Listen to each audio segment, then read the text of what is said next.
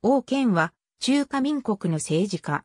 元財政部長、監察委員長、立法委員。1990年6月に財政部長に就任し、不法な財閥と対立することになり、最終的にやむを得ず辞任に追い込まれた。この時、小広報というニックネームで呼ばれることとなった。1992年10月に財政部長を辞任。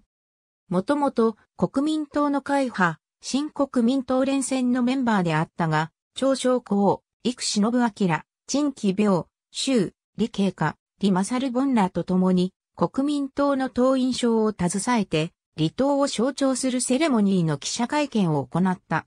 同時に国民党中央委員会に書簡を送り、7人の党籍抹消を求めた。こうして、1993年8月10日、新国民党を立ち上げた。略して、新党都市、市民の代弁者であることを強調した。新党が結成された後、党を代表して、台北市長選挙や台北県庁選挙といった選挙に立候補している。敬虔なクリスチャンとしても知られ、道徳のある人物として、台湾の政界でも名の通っている。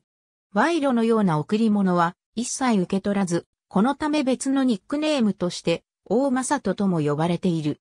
ありがとうございます。